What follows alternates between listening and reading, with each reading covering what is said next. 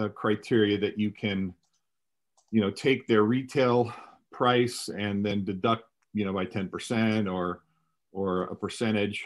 And then that would be the listing price on the, on the buy it now, or if you want to do a buy it now, if you wanted to do it as a, as an event. Um, so there's lots of different ways to skin that.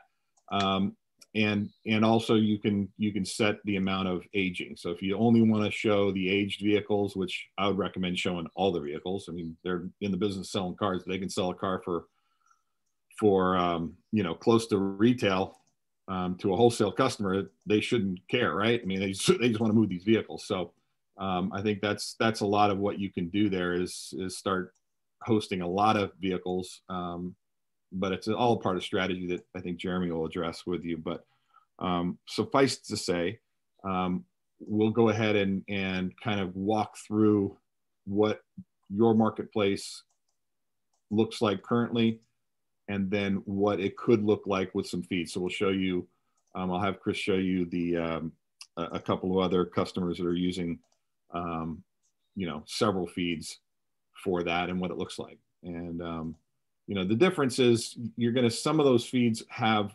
images that they're they're retail right? So they're going to have their their logo on there and and that kind of thing. So that's that's okay. You can also then send out your folks to um, to run a core on on selected models to, to give more verbose information um, remotely. Um, and it will just append to whatever's in the system. So they don't have to take all the walk arounds they can just do a damage a damage CR um, if they wanted to. So it makes it pretty pretty simple um, and very valuable for your your dealers and a strategic way to to battle you know the backlot cars and the ACVs and the stuff that's kind of stealing some of the, the business. So um, what is it that uh, what what has been the talking points within the auction um, with Kyle and and Mike and and the rest are they are they looking to to to get a solution or are, are you just being proactive? No so uh, we've discussed it um, you know especially with it being so hard to get cars um, you know to get their dealer information their, on their cars on their lot and that way we could add them to the sale. But we were planning on adding it to our wednesday sale as a vehicle that we could sell um, sure. So yeah but um, and then we could probably set up some um, you know automated stuff with their inventory also. Sure. Absolutely. Okay. yeah so uh, paul real quick jeff yeah. i did i came to um, ias um, from the dealer side and the the columbus fair auto auction was like two miles from where i worked and i got to know them real well and they had very deep ties to ias and so when covid hit they did just that for us we literally set up a feed, sent them uh, stock inventory photos off of our our our website or our inventory tool, and we ran 400 cars in lane two and 400 cars in lane three um, every Wednesday for the entire time that the city of Columbus was shut down. That, that, so we have really good experiences to how to do it, and then what what does and doesn't necessarily work. Um, I found a lot of success by by leaving my inventory as soon as the sale ended, just leaving it up on CFAA's website for the rest of the week. You know, they might take it down the night before the sale, put it back up uh, after the sale is over, um, and then I hand sold through the auction. Uh, you know, a, a, decent amount of cars every single week as a result of it. So that might be one way that you can kind of go to your dealers and talk to them. Um, and I'll be glad to help you with, you know, giving you some some endorsements or some sitting on some calls with you to let them know kind of what I did from the dealer's point. Um, we did it for a while before COVID, just not with that much retail frontline cars, right? So um, we were we were stocking a bunch to try to sell a bunch, but when COVID hit, nobody was coming in the doors. We thought, okay, let's open it all up. Well, well, when everything opened back up in Columbus in like May and June, we didn't change the strategy, and in fact, we kind of doubled down and started doing even more of it. So I think you're onto something pretty big. And the cool thing is we know we know some of the roadblocks that are going to be in your way and and how to try to help you through it. Okay, cool. So Chris, why don't we um, go ahead and, and share your screen and we'll just walk through, um, you know, kind of their, you know, kind of their look and what we have, and then what we do with, with other, other marketplaces that are branded. Sure and Jeff, yeah. you under, you understand the, the difference between um, the, the, fact that it's not just the, the web portion, but it's also a full, um, you know, your Android and, and Apple account, right? That's all set up. Uh, yes. Uh huh. Yeah. Our uh, okay. our apps. Yeah. Perfect. Okay. Okay. So Jeff, I've got my browser here. So this is the web version. Here's mobile. Uh, it's my phone there, and I'll show you a couple of uh, a couple of marketplaces with a couple different examples that I think are relevant. Um, one of the things I'll show that Jeremy just spoke to is like, for instance, your marketplace right now is completely empty. Um, and you know, there's a couple things that could be done. You know, different strategies. I mean, one of them obviously is to get some outside the gate dealer feeds in here, and then you give, then you'll have dealer inventory in here. Um, and then one of the one of the other ones that Jeremy was talking about was keeping your no sales up and listed. Um, you know, this is Indianapolis Car Exchange. They ran this morning. Uh, they've got a few lingering cars that probably just didn't run. Um, but you'll notice at the bottom of the marketplace, we have a big uh, no sales vehicle section. And so you can view all these no sales uh, in the marketplace. Um, you can go to view all and take a look, and they've enabled uh, the offer functionality. So, you know, while these, you know, you can't put a bid or do a buy now, you can at least go ahead and uh, take a look at these and see what was missed. You know, maybe I'll make an offer on this Jeep and um, use that to get a little bit more engagement. Um, it also means that when you go to the search section, uh, buyers can go ahead and view, you know, all the no sales along with uh, what's available. So, uh, kind of keep some stuff listed in the marketplace um, until you start uh, running the next event. Uh, the other thing you could do is, and let's see if uh, this other marketplace has a good example of that um, you know, trying to turn inventory uh, basically the next, starting the next day. Um, this auction had their sale yesterday. They, they do Tuesday and Thursday. And if you'll notice, they've already started numbering cars. They've already started turning cars for next Tuesday's sale. So that way people can kind of see it ahead of time, go in here and put in proxy bids uh, starting now um, and also lets them, you know, gives them more time to look at the inventory uh, ahead of the sale. Um, so that's a couple things we can look at. You know, what what your events are configured, uh, you know, to start showing, when they start showing, um, enabling no sales, that kind of stuff.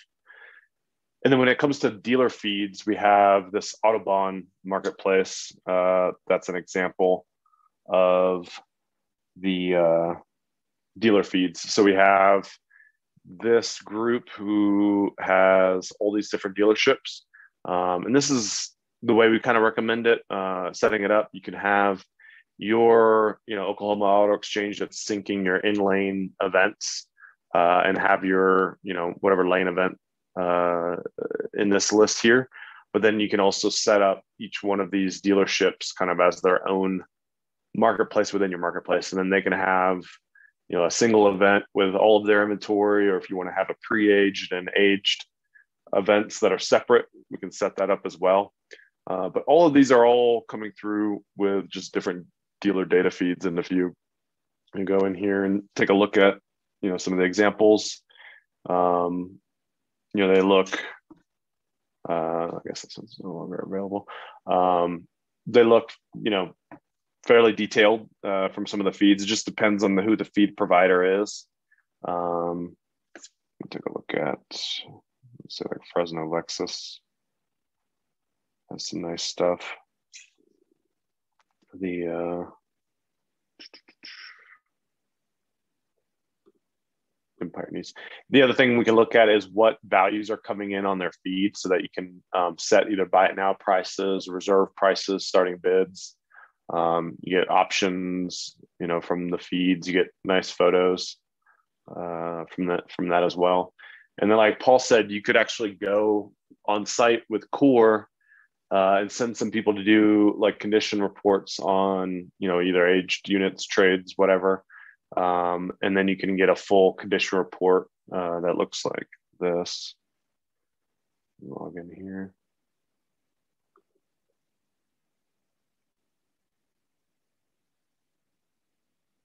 Let's see if this focus has one. Yeah.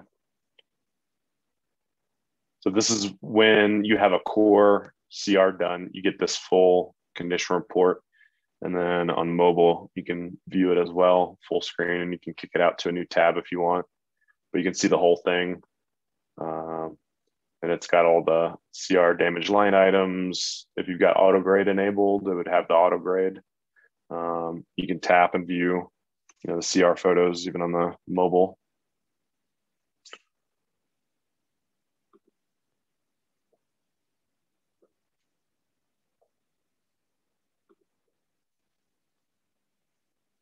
Take a look.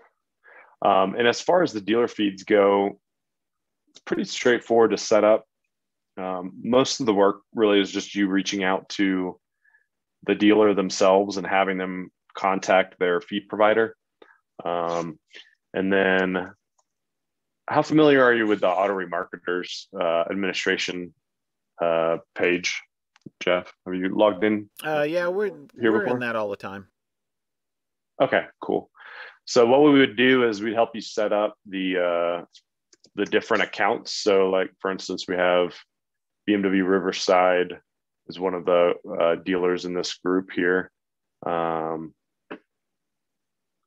right here, right here. And uh, so we would help you create that account, and then under the administration side, when you set up the dealership itself, you go ahead and put in the integration account. So this one's using NetLook, and this is the account name in the file that we receive. Um, and then we can also set up, like I said, different rules for aging. Um, so here's like the the aged inventory event for this account. And what we do is we just set that this is an aged event, and then we have a setting that says how many days their age uh, is set to so if you want if you if any of your customers are like look i don't want to list you know my my fresh stuff uh, but maybe after 30 days you know you could set that up and then it'll go ahead and show up. Um, or you know you can list everything uh, but it's just a feature that we that we offer. Um, so once we set up the feed and we start receiving the file and you've done that all, all that configuration and we can help you help you with that as well um, then the inventory will just start loading. And if you notice here there's 108 units uh, and then on the marketplace, you see the, the 108 units in here.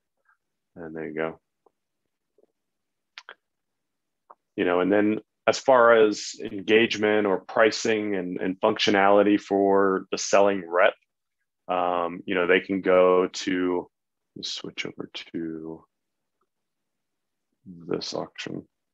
They can go to your app or uh, on mobile and they can actually see everything they have listed and they can update pricing from here, both in the web and in mobile. So they can set the starting bid, set the reserve price, buy now price. So maybe if we're not receiving those that pricing in the feed, uh, you know, they can enter it here or they could update it if they need to change it or if they want to drop, you know, whatever uh, amount was in the was in the feed uh, from before.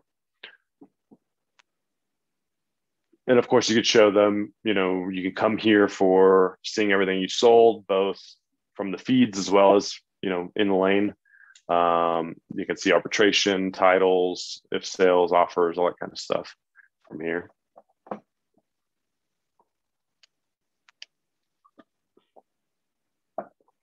Have you seen the full marketplace? You, you took a tour of it assuming? Uh, I mean, we use it, um, so I, I guess so. Okay. Okay.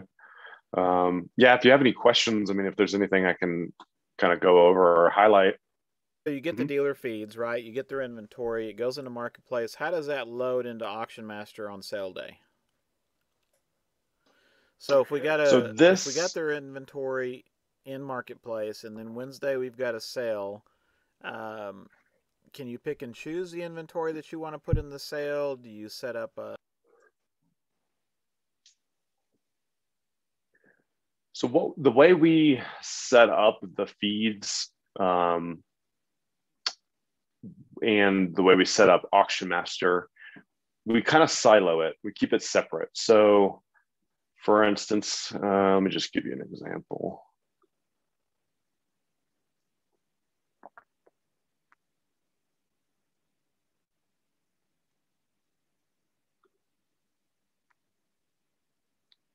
My internet is slow today.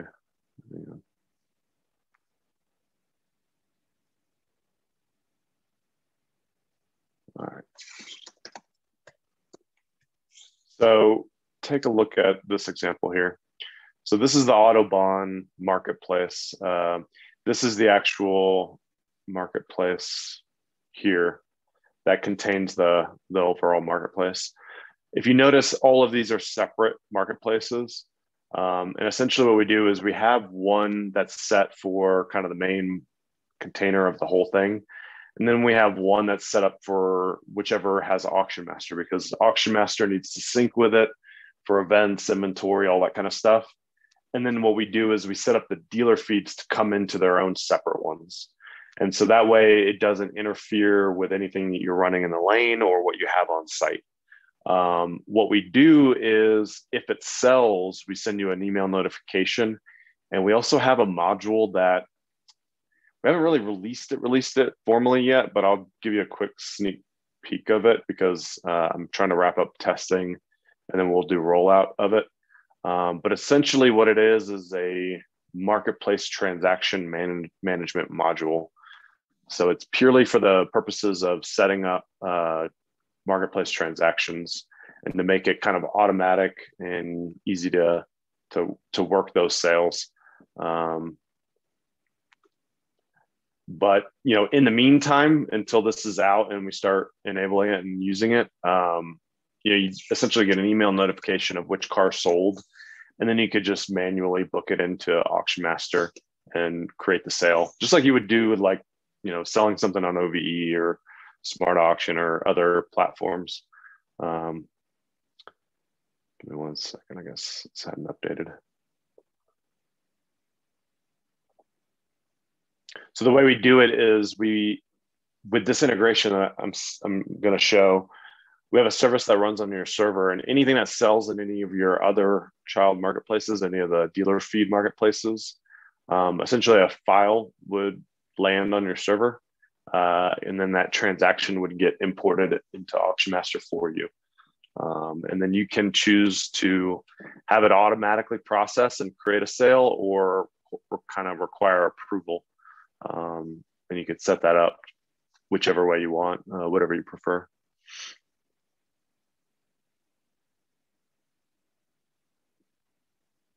That's going to take a minute. Hang on. Move this over here and then I'll switch to that in a minute.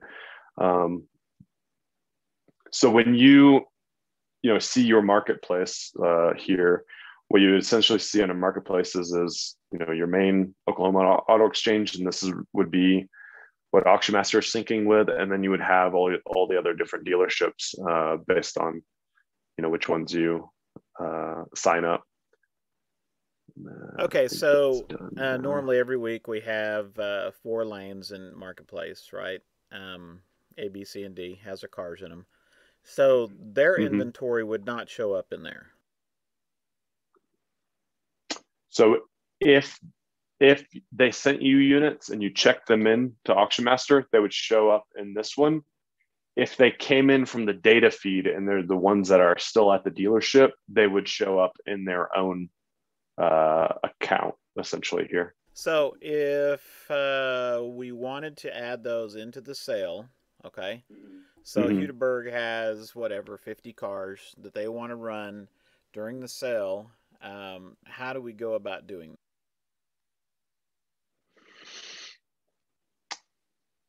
let me, from let an operations flow, it would probably let me, let me qualify be... real quick there, Jeff. So what you're what you're asking for is um, Peterberg has um, ten cars that he sent you, and he's got twenty cars that are sitting on his lot for a total of thirty cars. And what you're asking for is when Peterberg um, starts his cars, you're going to run 10 of them through the lane via simulcast.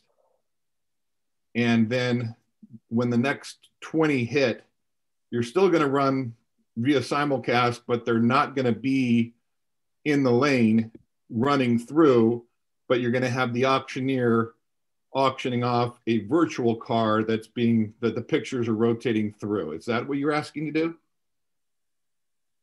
So so you're you're trying to put outside of the lane vehicles in the lane to be sold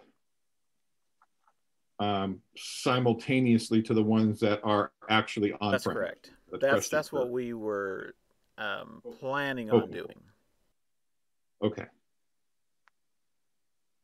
And was that all you're planning on doing with these cars, or are you also wanting to use those cars for um, for sale 24 seven outside of the lane? No, I don't see any reason why we wouldn't try to help them out and, and have a place for people to uh, to look at all of them. You know what I mean? Source yeah. vehicles, yeah. Okay. So I don't think we've ever done that scenario, but it's very compelling. Um, Chris, what would be the procedure to do something like that? I don't know.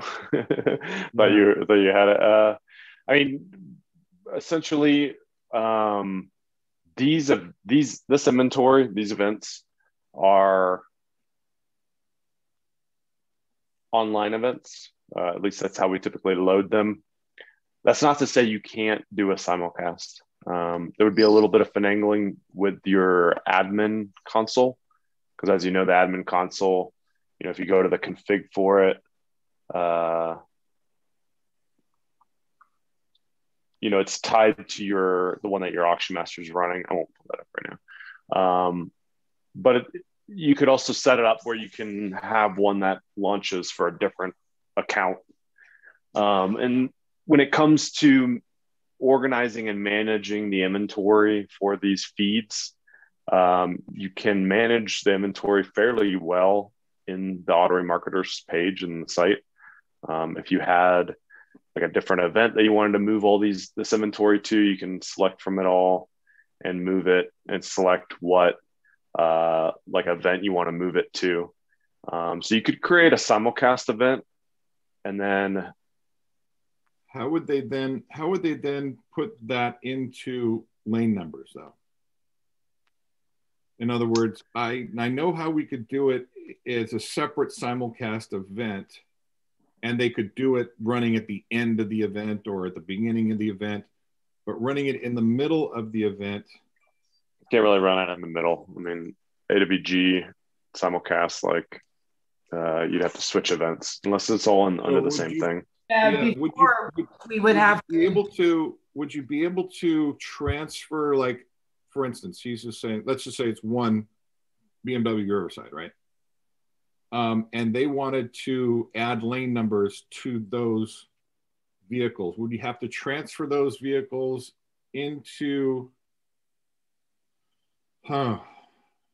Just trying to figure out how to how it would assign the lane number that would then correspond. I don't need an answer right now. If you guys, you guys probably obviously did not know what we were wanting.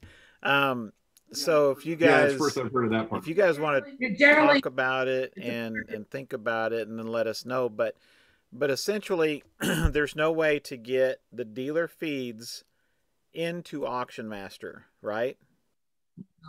And generally, it was designed that way because when the cars, so say they had the dealer feed and the cars were showing on the marketplace, y'all aren't technically looking at the cars. So auction itself doesn't have any type of liability on the vehicle. So when the cars do come to run through a lane, it was designed that you have to check it in. So you're putting the eyes on it. And now the liability is really shifting on you guys because it's part of your run list now.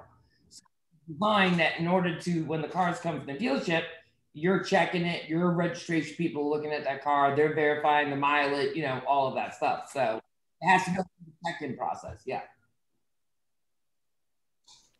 so uh, basically, on the dealer feeds, we need to just uh, use that as a separate sale, a separate simulcast, of vehicles that are not at the auction, but we can still run them for them. Like if we wanted to do our Wednesday sale Yep. till noon, one o'clock, and then start this sale after that with the Right. dealer inventory, we could do that.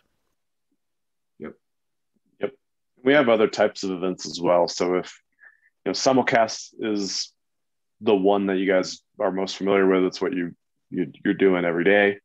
Um, but you know, with the, when it would come, when it comes to dealer feeds and that inventory, uh, you know, they may not want you know for you to run it one day a week kind of thing. They they'll want you to leave it up, you know, and make it available, you know, for buy now or for offer. Um, the other thing that we can do is also uh, timed auctions uh, that don't require an auctioneer or a clerk. It's just an online uh, kind of ACV style where you basically have, you know, if you have 50, 50 units, you could have three run at the same time for 20 minutes, you know, with 10 minutes in between, and then, you know, go to the next one, the next one. And people can put in their bids and you know, as long as the bid meets reserve, it'll sell. Uh, if not, you can turn it and run it into an, you know, another event tomorrow. So you could have like, you know, daily events for two hours. Uh, so, you know, there's lots of different options for the different types of events um, besides just simulcast. I don't think we have anybody using the automated at the moment. Um, I don't think we do, but we do have the functionality. Um, all you have to do is configure the the event. Um, okay, so can you show me um, one of the events uh, with dealer feeds? Is that what I'm looking at right now? That's what all this inventory is. These thousand units are all uh, coming in from these different dealerships, and essentially all their aged inventory is is presented here. So you see all these different all these vehicles for these different customers. Um, and, you know, and some of them we have pricing for buy it now. Uh, some of them have bidding enabled. Some of them have just offer enabled. Um, just depends on the setting for the different uh, customer. Yeah, it's not that it precludes you from having the sale. Um, it's just that it precludes you from having the each dealer run in order and continue to run outside of the lane and back to another dealer inside of the lane, then back that same dealer outside of the lane, that kind of thing. So it may be better because it, it kind of would offer up some confusion there um, uh, if you did it that way. So this might, I think, maybe a better way to go. You're you're you're utilizing the audience that you have to stay around for that outside of lane sale, um, as opposed to doing it another day, or or you could do it another day. You could add, you could you could have a a, a Friday sale of outside of the lane, or a Monday and a Friday sale with your Wednesday inside of the lane sale, right? So um, some flexibility there. So how can we help you uh, start getting these uh, dealers feeds?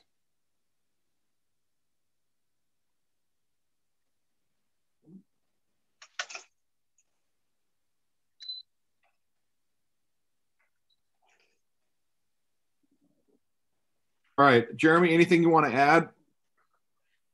No, I, I'm good. Jeff, you just when you send those forms in, or if you need help with, with that process, just co- just copy me on uh, the email, and I'll I'll help on our end. Absolutely, you betcha. Yeah, and and sometimes Jeff, um, these these used car dealers because they change hands so many times, they may not even know who their feed are, feed is, or they don't they don't have the the username and password um, readily available because it was two general managers ago. Uh-huh. Yeah. you know, they have no Yeah. idea. Um, so if you need any help with that, really um, the best thing to do is to get them to send a approval email. So you send them an email saying, "Do you approve for um, for uh, Oklahoma Auction Exchange and IAS to be a recipient of the dealer feed from whoever the dealer is, right, or whoever their feed provider Okay. is?" And um, then they would answer back yes if they have the the contact at that at that uh, dealer if they could CC him on that that um, response so that when when um, when we contact we, we get the information because it's already been approved, right? So instead of doing it backwards where we try to get it, then we have to get approval and then I got you.